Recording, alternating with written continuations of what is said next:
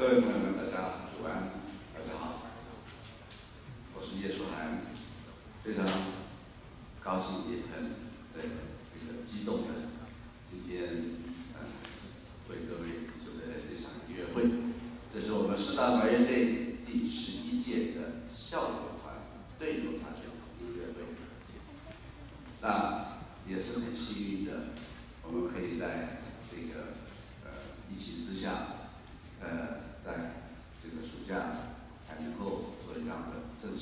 式的演出。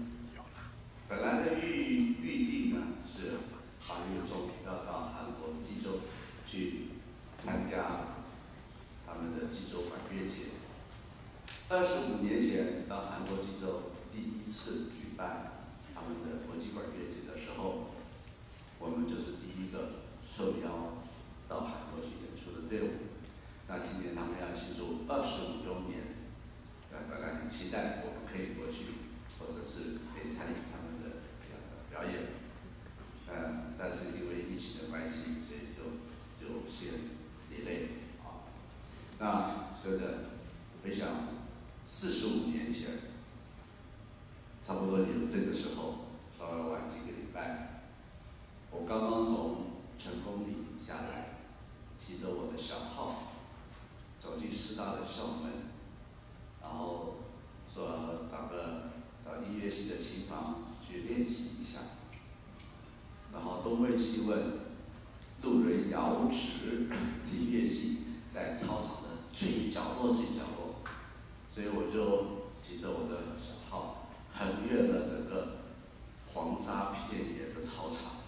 然后走到一个很破旧的一个房子，到处都是灰尘，到处都是风沙，然后拿出我的小号开始练习，心里在想，怎么这么破破旧旧的地方？我是不是应该下个礼拜就回去准备重考啊？然后练着练着，哎，想起来，哎，我在成功里的时候收到一封信，呃，字迹非常的娟秀，师大管乐队队长吴什么啊，然后希望我可以到男生第一宿舍一二零三室一续，不知道哪里不错吧？好吧，练一练，大概四点多五点，哎，也差不多了，好收一收就就绕过去又问了半天啊，男生宿舍在那边，一进去看到几个人穿着吊嘎，抽着烟在那，哎，那个哦，我是叶树涵，哦，开始哈，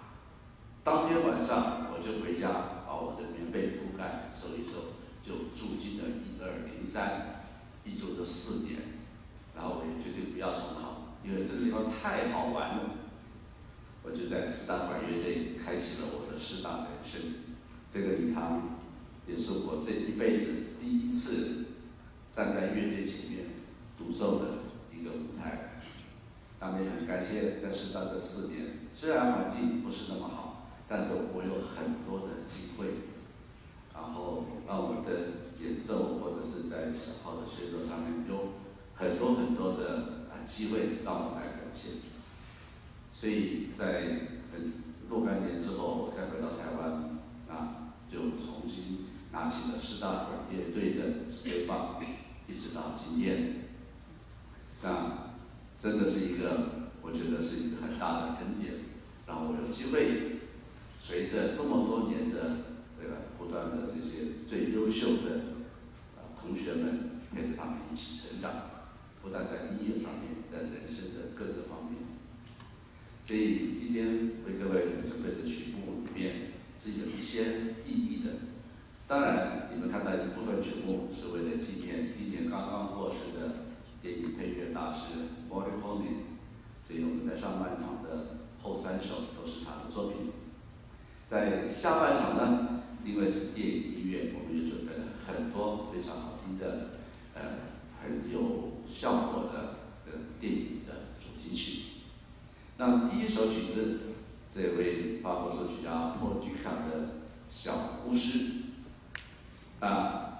当然这个故事大家都知道，那也是沃迪斯蒂他的《芬塔西亚》这一部的电影里面的一个重头戏。不过我觉得最重要的还是因为在师大的四年，有机会吹奏乐器。交到一生的好朋友。然后呢，是不是就如同这群小巫师呢？这些呃啊团体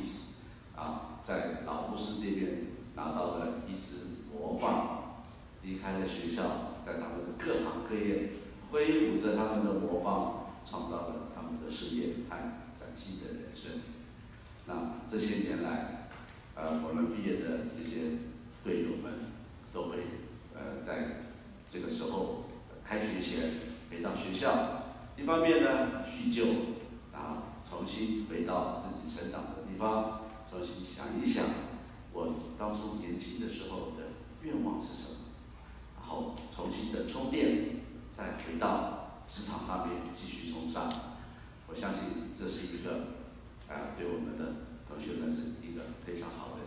一个重新来享受音乐的机会，所以也要谢谢我们的朋友们，呃，这里面有很多也是我们曾经的队友，啊，虽然没有坐上台演奏，但是会回来，呃，来给我们支持，来给我们的学弟学妹学长啊，来这个加油鼓励。好，那我就先开始今天的第一首乐曲。法国作曲家 Paul Dukas 的这一首《La Fontaine Associée》小故事。